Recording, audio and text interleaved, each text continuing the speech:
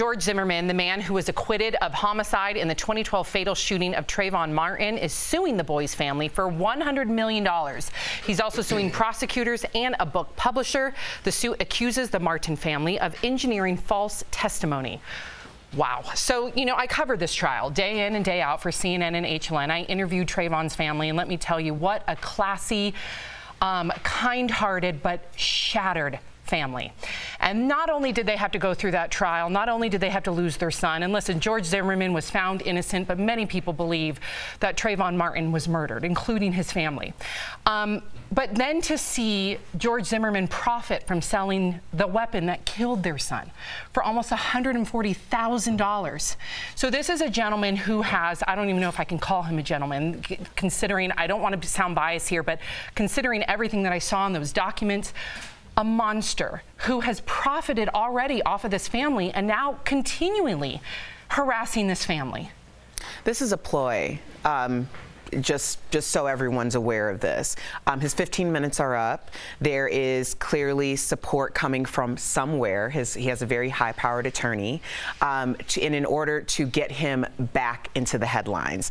Uh, all of this is just ridiculous. When it really comes down to it, we're not even talking about did he kill Trayvon Martin or not. We all know that he killed him. He documented it himself. But many so, people would say he stood his ground. Erica, let me tell you, there are when I covered the trial, there are so many people that stand behind George Zimmerman to this day. There are blogs, there are influential people that are continuously uh, funding his side projects, if you want to call them that, because they believe that he was standing his ground, and he had every right to do so, and now he is uh, being somewhat. Uh, uh, maligned by our social system? Well, everyone has their own agenda. Um, do they believe that he stood his ground? He stood on ground. Yeah. Um, but I, as a conceal and carry holder, I can tell you right now, I had a break-in in my house and I was told specifically that if the man was walking towards the door,